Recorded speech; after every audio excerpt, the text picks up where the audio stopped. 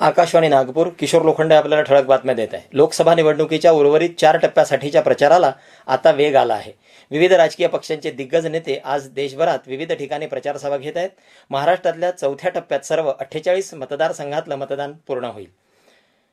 बुलढाणा जिल्ह्यातील मेहकर तालुक्याच्या डोनगाव येथील एकशे वीस क्रमांकाच्या मतदान केंद्रावर आज पुन्हा मतदान घेण्यात आलं. दुपारी तीन वाजेपर्यंत छप्पन्न पूर्णांक एकाहत्तर टक्के मतदान झाल्याचं आमच्या प्रतिनिधीनं कळवलं आहे. लिबियातून भारतीय नागरिकांची सुटका करण्यासाठी सरकारनं सतरा सहयोगी समन्वयक नियुक्त केल्याची माहिती परराष्ट्र व्यवहार मंत्री सुषमा स्वराज यांनी आज दिली. ट्विटरवरून केलेल्या वक्तव्यात त्या म्हणाल्या की भारतीय राजदूत त्यांना त्या कामी मदत करत आहेत तसंच या कामी सर्व सुविधा कार्यान्वित असून याचा नागरिकांनी लाभ घेण्याचं आवाहनही त्यांनी केलं. लिबियातील युद्धसदृश्य परिस्थितीमुळे तेथील भारतीयांनी लिबिया सोडण्याचं आवाहन त्यांनी केलं आहे.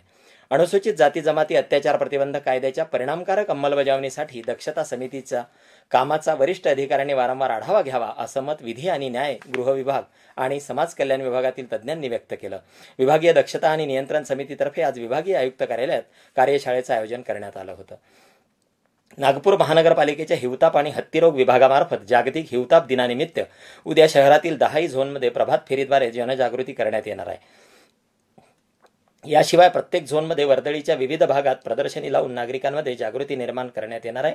जागतिक हिवताप दिनानिमित्त मनपाच्या हिवताप आणि हत्तीराव विभागातील पंचवीस ते तीस एप्रिल दरम्यान विविध कार्यक्रम घेण्यात येणार असल्याची माहिती मनपाच्या हिवताप आणि हत्तीराव विभागाच्या वतीनं देण्यात आली. विदर्भातील पर्यटनाच्या दृष्टीनं विविध पर्यटन स्थळांचा विकास करणं पर्यटन स्थळी सोयीसुविधा उपलब्ध करून देत पर्यटकांना आकर्षित करण्यासाठी विदर्भ पर्यटन विकास महामंडळाची नुकतीच बैठक पार पडली. यावेळी महामंडळाचे मुख्य लेखा अधिकारी तथा नियंत्रक अधिकारी दिनेश कांबळे यांनी टूर ऑपरेटर्स एजंट आणि स्टॉक होल्डर्स यांना मार्गदर्शन केलं.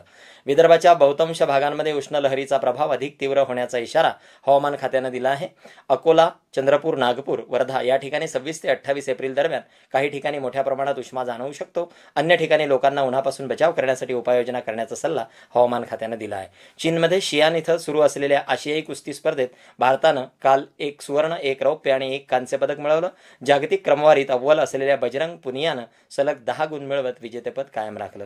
याबरोबरच हे बातमीपत्र संपलं. या आणि इतरही बातम्या ऐकण्यासाठी आपण आमच्या Marathi news Nagpur all India radio या यूट्यूब चॅनलला सबस्क्राईब करू शकता. नमस्कार.